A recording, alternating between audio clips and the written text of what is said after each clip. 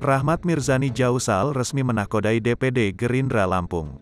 Dia didampingi Giri Akbar sebagai Sekretaris DPD Gerindra Lampung dan Eli Wahyuni sebagai bendahara. Prosesi penyerahan SK dan pengukuhan pengurus DPD Gerindra Lampung yang baru itu langsung dipimpin oleh Ketua Harian DPP Gerindra Sufmi Dasko Ahmad di kantor DPD Gerindra Lampung, Sabtu, tanggal 26 Maret tahun 2022. Sementara itu, posisi Gunadi Ibrahim sendiri saat ini ditunjuk sebagai anggota pembina DPD Gerindra Lampung. Kemudian, Patimura Daniel menjabat Wakil Ketua Dewan Kehormatan DPD Gerindra Lampung. Demikian SK ini saya serahkan untuk dilaksanakan.